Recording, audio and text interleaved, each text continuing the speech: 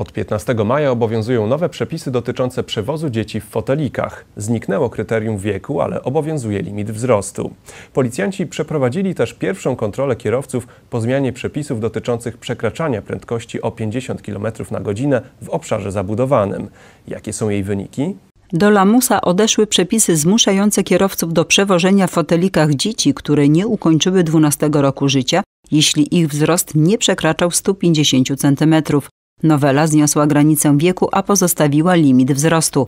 Przyjęto, że dziecko mające powyżej 1,5 metra wzrostu będzie mogło jeździć bez fotelika, jeśli zaś nie przekroczy tego poziomu, będzie musiało w nim podróżować aż do osiągnięcia pełnoletności. Czy dzieci będzie można przewozić na przednim siedzeniu i jakie przyjęto kryteria? Dzieci mogą być przewożone na, przednich, e, na przednim siedzeniu, z, z tym wyjątkiem, że muszą tutaj e, posiadać przynajmniej wzrost 1,50 m, no i muszą być e, przypięte pasami. Z jakim z kolei wzrostem będą mogły być przewożone dzieci na tylnych siedzeniach? Na tylnym siedzeniu w foteliku e, możemy przewozić dzieci również do wzrostu do 1,35 cm.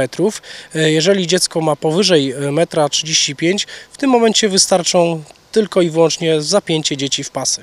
W zapisach znalazło się również rozwiązanie zezwalające na przewożenie trzeciego dziecka na tylnej kanapie zupełnie bez fotelika.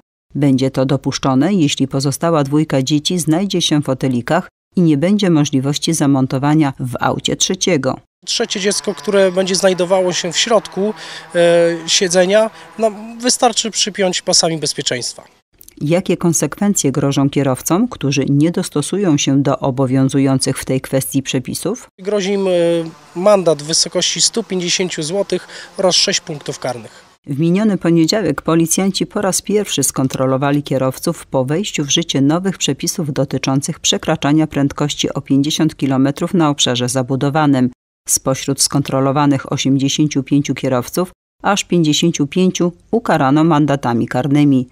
Czy niektórym z nich zatrzymano prawo jazdy? Podczas tych działań zatrzymaliśmy dwóch kierowców, który, którzy w ogóle nie posiadali prawa jazdy.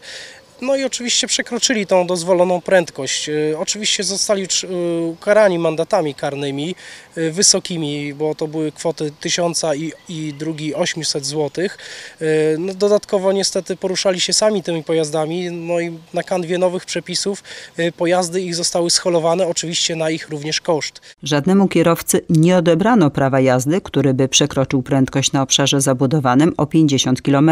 Przypominamy, że zgodnie z nowelą przepisów drogowych kierowca może utracić je na 3 miesiące, a piraci i recydywiści mogą liczyć na grzywny wyższe o 50%.